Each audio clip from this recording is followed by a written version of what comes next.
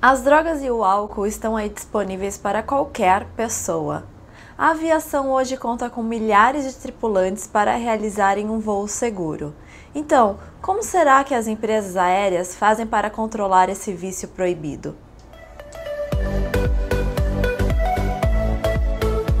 Olá pessoal, sejam bem-vindos a bordo de mais um vídeo. Hoje a gente vai tratar de um assunto delicado para muitas pessoas.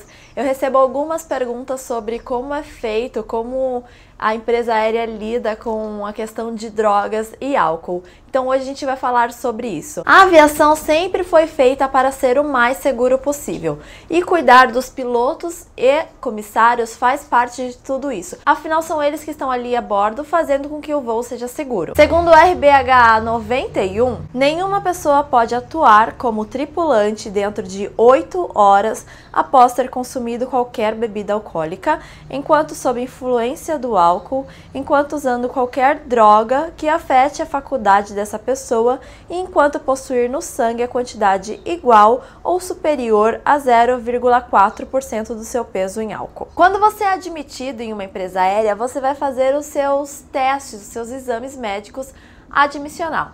Entre esses exames, inclui o exame toxicológico. Como eles fazem isso? Eles tiram uma mecha do seu cabelo e por essa mecha eles fazem um exame para saber se você usou droga ou não. Qual é a janela de tempo disso? Depende. O, o nosso cabelo ele tem meio que um histórico nosso, né? Então, por exemplo, aqui para baixo eu tenho histórico de muitos anos atrás aqui para cima o que eu fiz nos últimos meses.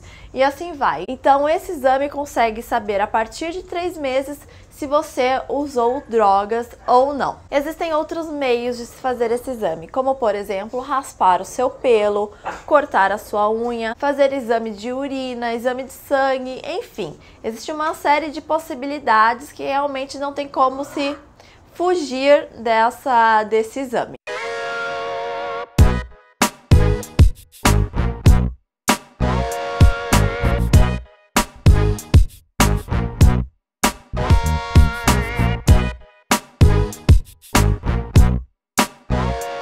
Se você for pego nesse exame adicional, bom, sinto lhe dizer que você corre um sério risco de ser demitido. Agora, como acontece depois que você é admitido? O tripulante está lá, né, exercendo sua função.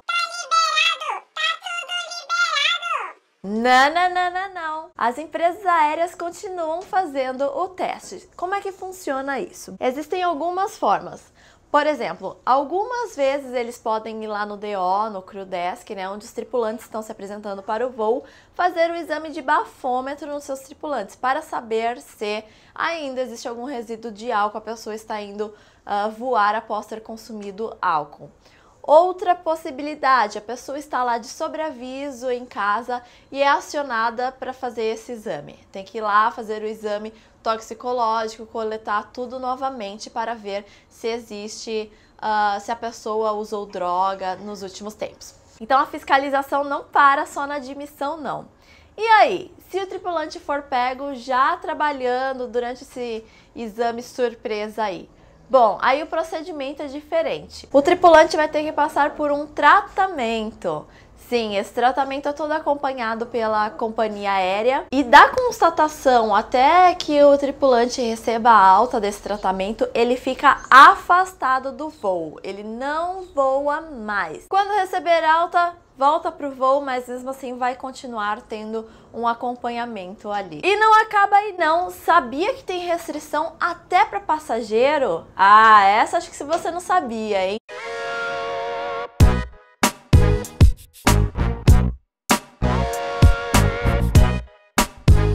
Viu? O comandante também pode desembarcar um passageiro que já embarca ali com sinais de embriaguez. Então, presta atenção.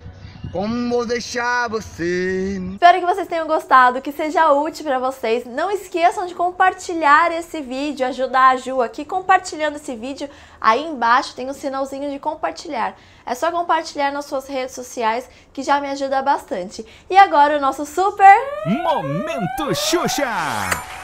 Beijão para Carolina Kozer, uh, Patrícia Mancini, Raquel Matos lá da Bahia, Minecraft Pocket. Para o Silas e o filho dele, o Caio, que são lá de Rondon do Pará. O Michel Silva e a esposa dele, a Joélia.